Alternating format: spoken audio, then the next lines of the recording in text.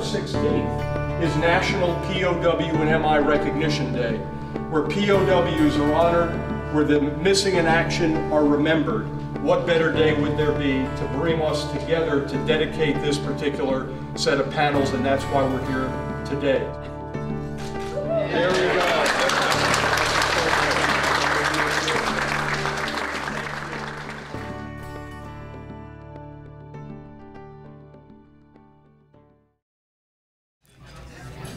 Ladies and gentlemen, I, I would uh, encourage you to continue eating your your dessert there that uh, Doc Vergitz from the uh, PE department does not recommend you eat for health purposes, uh, but we don't pay attention to them on days like this. Most of the time we do pay attention to them, but enjoy the rest of your uh, meal and, and then again the uh, the cake that is that is there. But I'd like to go ahead and introduce Mr. Sid Stockdale, who's going to share with us a couple of thoughts. He's the second of four sons of Admiral James and Sybil Stockdale. Sid was born in the dispensary at the Naval Test Pilot School in Patuxent River, Maryland in 1954.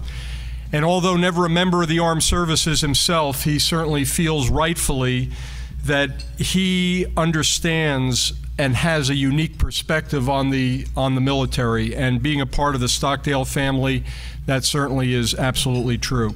During his 40-year career, as a high school teacher, history teacher, with experience in both public and private schools. He also coached ice hockey, crew, and football along the way.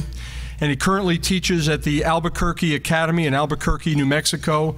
And we are very, very honored to have Sid Stockdale with us this afternoon. Sid, please come up.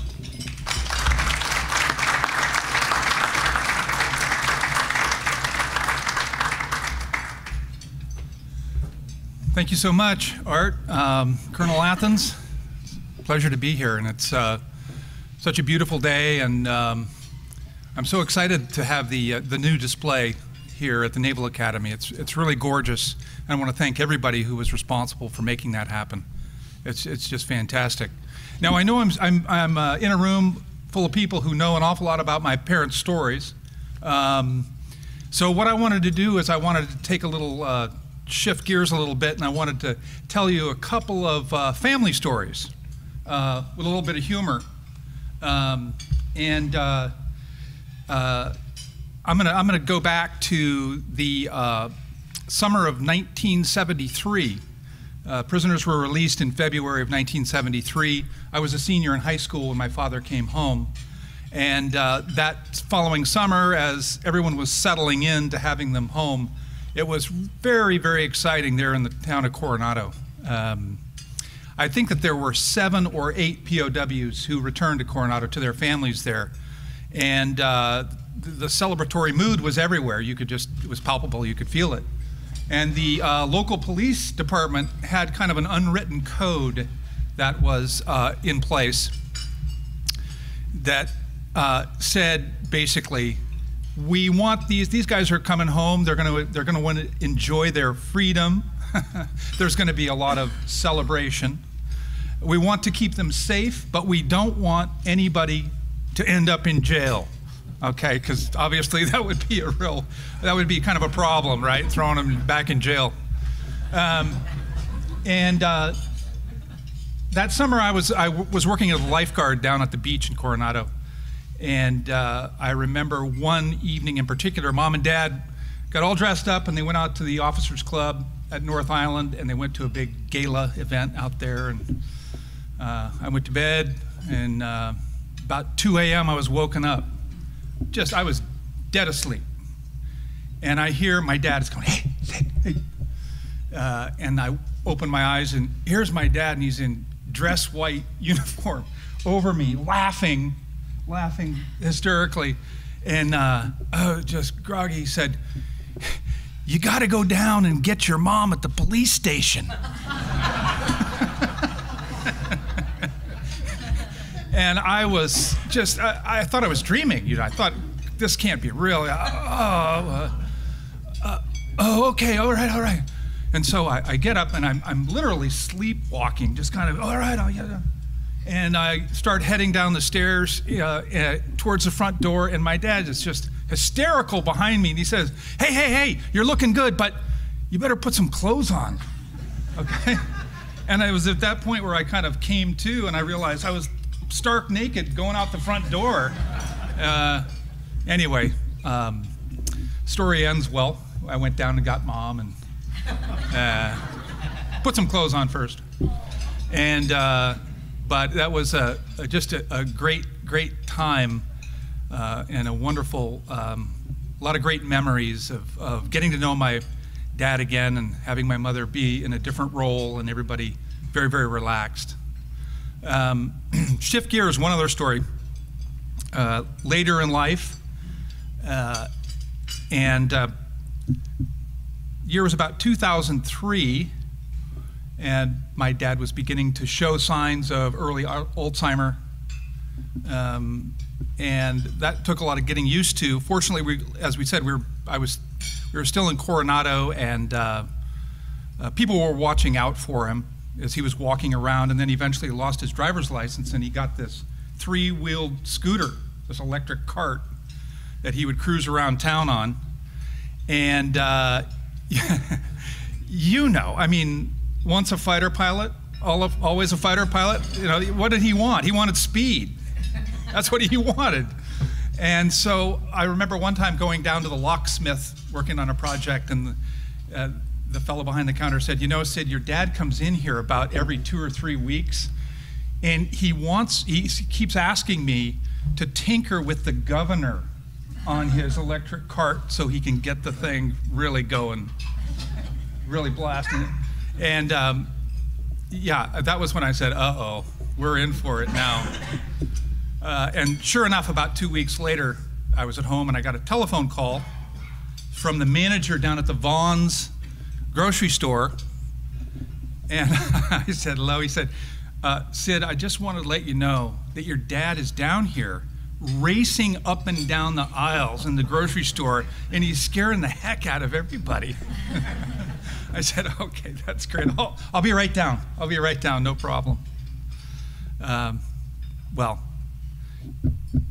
yeah, on a more serious note, uh, I am uh, very, very thankful that uh, all of the legacy of my parents is held in trust here preserved and passed on at the Stockdale Center and the U.S. Naval Academy. Uh, it's, it's most appropriate and um, it means a great deal to our family. And I want to thank everybody very much for making that happen. So thank you.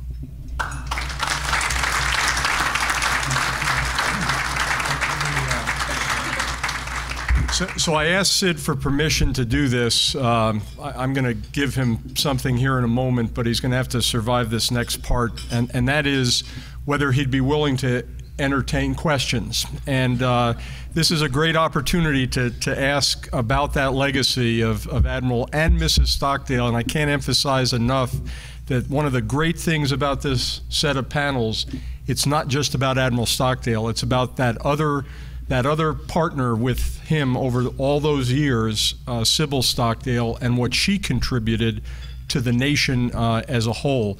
But but Sid is willing to answer a, a, couple of questions if, if you have them. There are midshipmen here, and if you teach in the classroom with midshipmen, you know you don't let the class go until someone asks a question. So someone's going to have to uh, ask a, at least one question. But it is really a great opportunity. So Sid, I'll I'll let you call on whoever might ask.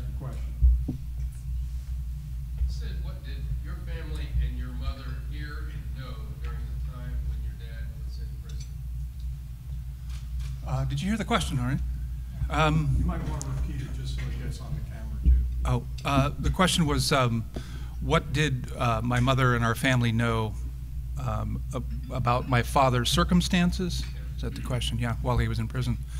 Um, you, uh, Dad was MIA uh, for roughly about six months. Uh, when I got the news, it was um, I was 11 and it was, you know, his plane was shot down, and and um, uh, one of the other pilots saw a parachute, and that was the extent of it.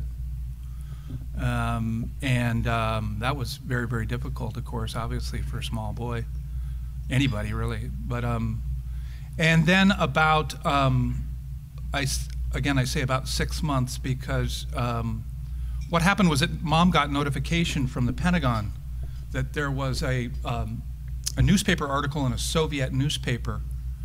Uh, it was a photograph, very grainy photograph, of a man standing out in front of a, a hospital clinic. And uh, the, the name, the spelling of the name was all kind of jumbled up, but uh, they, had, they were very confident that that was my father. And that was the first real hard evidence we had that he had survived and that he was there. Um, my mother received, uh, she, she received the first letter from dad. He was, he was shot down in September of 65, and she received the first letter in, I believe, February of 66. Matter of fact, I know it's February 6th. And um, it, that's when it was written. I don't think it was received until maybe three or four weeks later. Um, and uh, that's the, that infamous letter where dad um, writes that uh, has a line in there that's signaling to mom. Vietnam is a very um, cold country. We think of it as a tropical country, but it's actually cold. Um, and that oftentimes it's, there can be darkness even at noon. And that was the line, of course, that mom recognizes the title of the, the Koestler novel, Darkness at Noon. It's about a political prison situation and torture. And um, that was the in, first indication that, of what things were really like.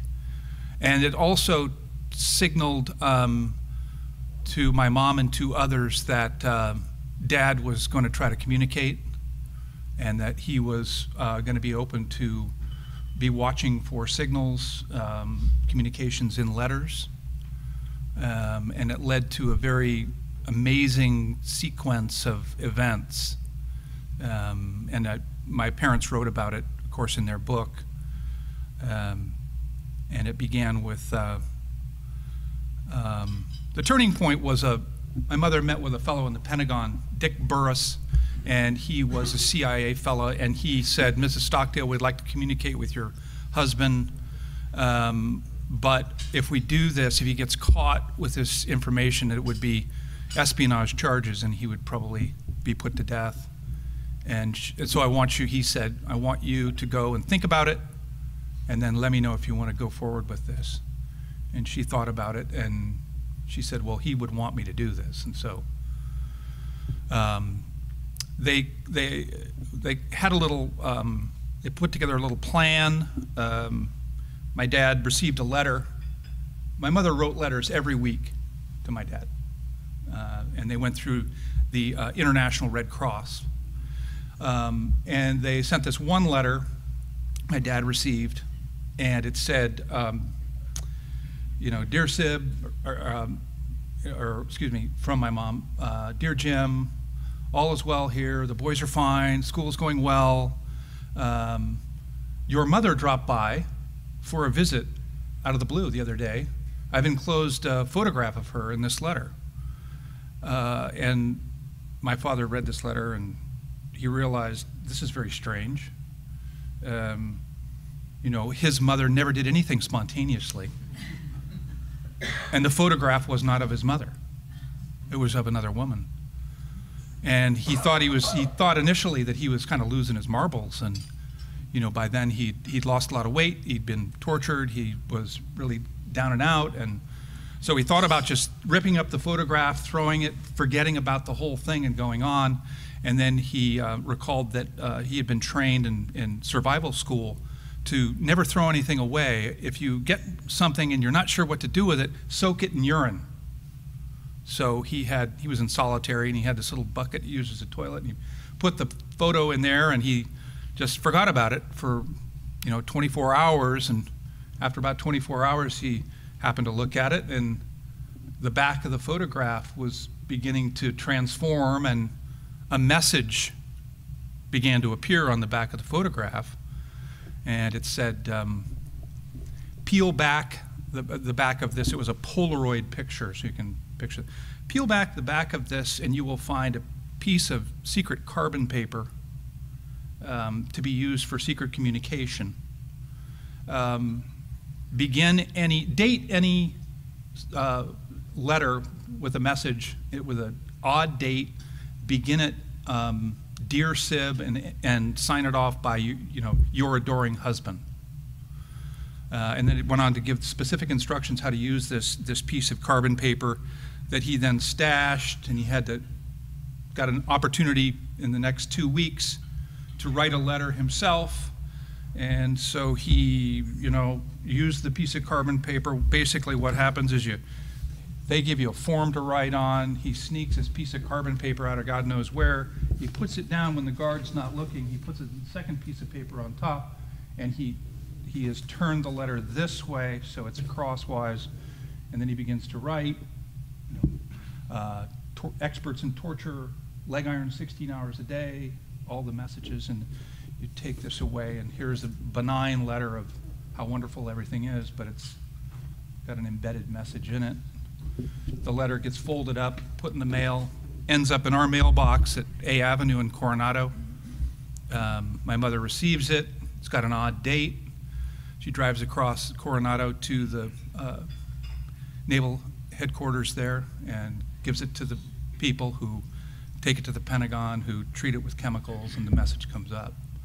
And so, so this, is, this began this whole process. It was the start of a process that then evolved over time. Uh, my mother was also coding letters uh, to my dad. So they had a coding system um, that was numerical um, and embedded letters so that she could send him, write him what appeared to be a very normal letter, but of course, buried within it were these messages once you knew the code and how to read it. Uh, and then it evolved eventually, of course, much more sophisticated, as in the film that, that uh, Colonel Athens was mentioning, the Smithsonian film, uh, to recently declassified uh, information that, whereby they were, among other things, uh, burying little microdots in boxes of cereal that they were sending to them, um, actually sending components in pieces for a small radio receiver, uh, transmitter. Um, it became very, very, um, it was a rich source of communication both for uh, the people in the Pentagon, and of course, a great source of strength for the guys who were in prison. My father didn't, he received so much confidence and such a boost of energy when he realized, you know, I, I, I, I can, I'm getting back at these guys. I'm controlling the situation that would otherwise be, uh, be almost uh, insurmountable. So, hope that answers your question. I went on a little long.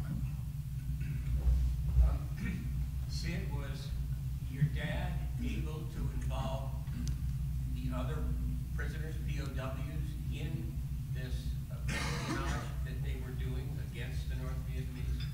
He, you know, he, he did. Of course, they were all in communication in the prison, right. you know, the famous tap code. And, um, I, you know, I don't know the truth of who was involved and who wasn't and how those decisions were made uh, because the, the the, the, that information, the microdot and that level, I, did, I never knew that.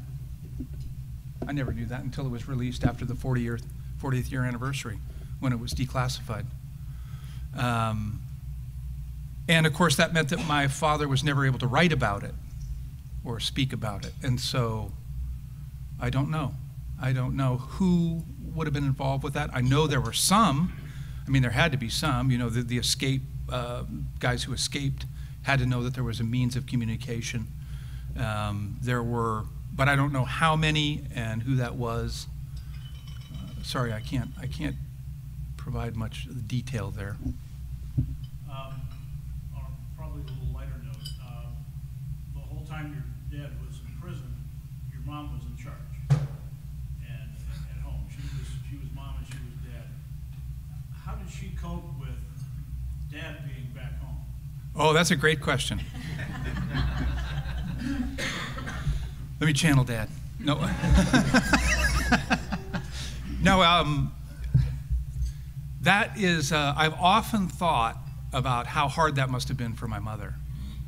Because, you know, she was very, very um, involved, that's an understatement, in not only secret communication, but all of the uh, public relations that were going on in terms of getting word out about the real treatment of the POWs. Uh, and that was a important and um, that organization was fantastic uh, in what they accomplished. So when my father came home and all of a sudden the spotlight went boom right on him, which I, I mean, my mother, she was probably, I know, never, she never said it, but I knew she was kind of thrilled to have the, I mean, obviously, dad was home, pressure was off, things were going to return to normal. But, um, you know, that, that's, that's hard to do. It's hard to give up something like that.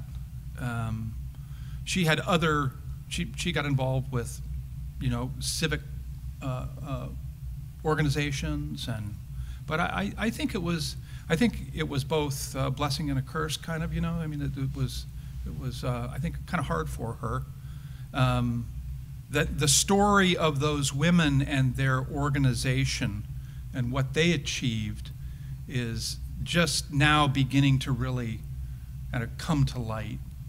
Um, we're, um, I've been working with an author who is uh, just now signing a book deal that's about um, that organization and mom, and I'm really hoping that that's going to take off and that it will that it will be something that people will really, you know, find fascinating, which I, I think they will. So I'm optimistic about that. Sid, I, I'm going to mention this, uh, two comments, not a question. Perry Martini, um, from the class of 71, here with my wife Jane. Um, in 1970, at the Army-Navy game, as a senior midshipman, uh, we actually had your mother as a guest at halftime when she was rolling out this whole POW MIA thing. And I have to go back and look at the history of when this all started, the commemoration and all the, the flag, everything. But it was a big deal. It was when bracelets first came out, and uh, it was just an amazing event. I met her from a distance, but I have to tell you that many years later,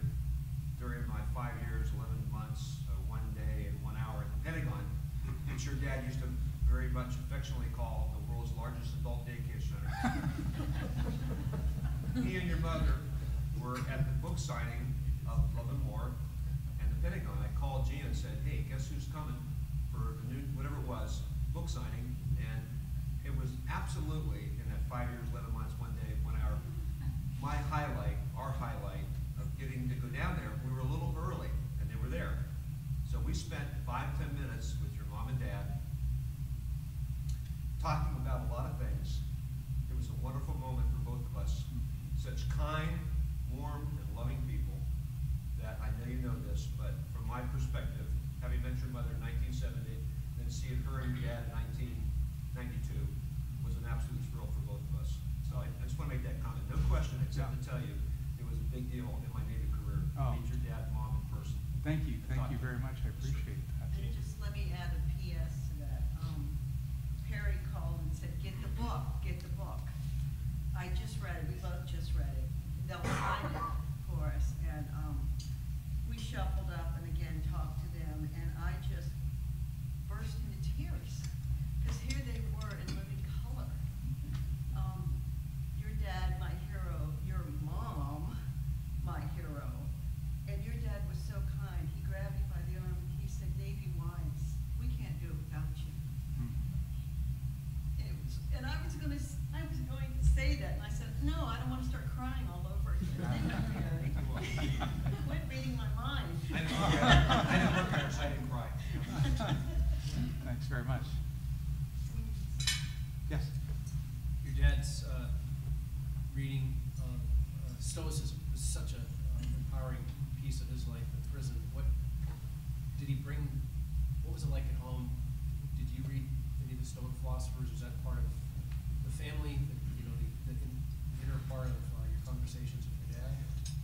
Well, it certainly was. Um, when Dad first got home, he was, you can imagine, uh, he was, it was kind of a shock for us to be sitting around the dining room table, you know, having a cup of coffee at breakfast.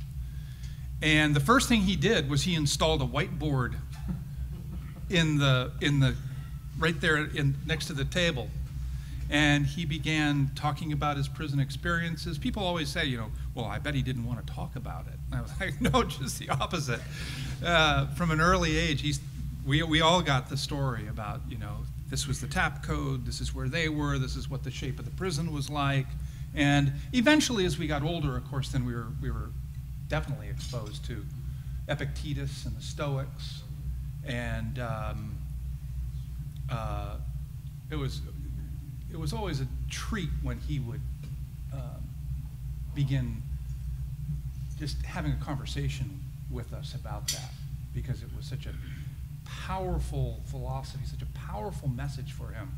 And he always, always emphasized, you know, this, this is what saved me. This is what gave me the strength to get through this. And um, uh, I've, always, I mean, I teach history. Uh, I got a master's degree at uh, St. John's College, so we read an awful lot of classics. And um, among them, of course, was the Enchiridion. And uh, so, yeah, it's, uh, yeah, no, it's a very, very important part of our, our growing up and in our life, no question about it. Yeah. Did I answer your question?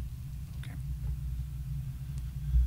Well, like I said, uh, any other questions? Thank you so much. Uh, it's really uh, a great, like I said, a fantastic honor to be here with all of you and, uh, and what the Stockdale Center is doing for the brigade and for the Navy. Um, it's, it's spectacular, and I know that my mother and my father very, very much appreciate all of your great work. So thank you.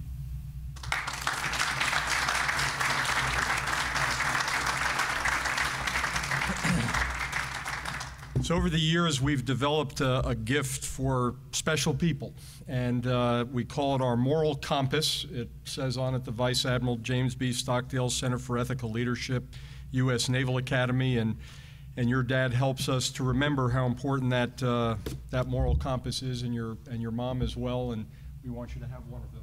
Thank you so So much. thank you, Sid.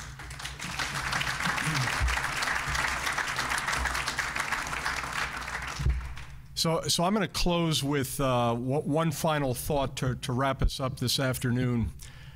I, I was speaking to a group of, uh, of FBI special agents, and I mentioned Admiral Stockdale a number of times in my, in my presentation. And one of those special agents came up to me afterwards, and he said, uh, You know, there are three key words in, in my life and my family's life. And, and I said, Well, what, what are those? And he said, uh, Return with honor.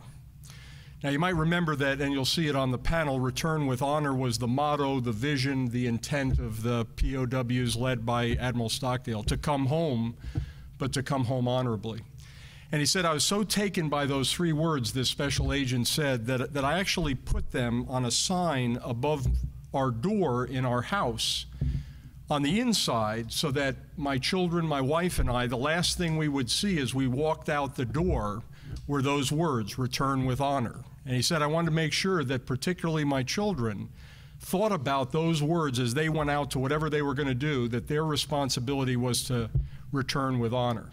So I said, that, that guy's got a great idea. Many of you know I have 10 children, and so I got a lot of them that I'm interested in their moral development. And I decided we would put up a wooden plaque above our door inside of the house. One of my sons is very good with wood crafting, and, and he made it look like it was almost a panel from a POW type of setting. And it has those words, return with honor. And we talked about what does that actually mean? That it's the last thing you see, and when you come back home, you can come back knowing that you did right as you went out.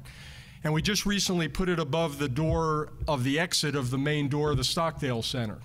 So if you ever are in the Stockdale Center as you walk out the main door, that's what you see above is return with honor. And as I think about the panels, as I think about Admiral Stockdale and Mrs. Stockdale, I, I hope and pray that that's all of our desires, that as we walk out every day in our journey, that our real aim will be to return with honor, to really honor that legacy that those two incredible people have, have left us, that we get to maintain here at the Naval Academy and everywhere we go. And as you go out today, It's not physically out there, but if you think about it, as you go out the door, return with honor. That's what I think Admiral Stockdale and Mrs. Stockdale would want from us as we live out our lives and encourage others to do the same. So again, Sid, I can't thank you enough for being with us. Uh, Nancy, thank you for joining him. And again, Jamie, for making it all possible by putting your talents into this and for the staff who worked as a team to, to make this a, a, a possibility. And for all of you taking time out to honor Admiral and Mrs. Stockdale, that means a lot to us. So if you haven't eaten your chocolate cake, there's still time to do that. I, I, I think they can bring coffee out. If you haven't gotten coffee, you're, you're welcome to stay here as, as long as you would like, have a chance to say hello to Sid. But again, thank you for being with us, and God bless you.